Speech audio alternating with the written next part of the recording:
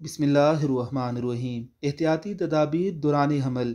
सब्ज़ी, फ्रूट पहले महीने में ज़्यादा लें, मगर बहुत अच्छी तरह धोकर, चाय, काफ़ी मिर्चें, घी, पान वगैरह ममनू कर दें। ज़्यादा वज़न उठाने से परहेज़ करें झुक कर करने वाले काम बंद कर दें और ज़ोर किसी सूरत न लगाएँ। सुबह एक सेब खाने की आदत डालें, नमाज़ की पाबंदी रखें। सब सब्ज़ियाँ खाने में बढ़ा दें, क्योंकि इनमें आयरन की तादाद ज़्यादा होती है, जो कि हामला हाथून को ज़्यादा चाहिए होती है।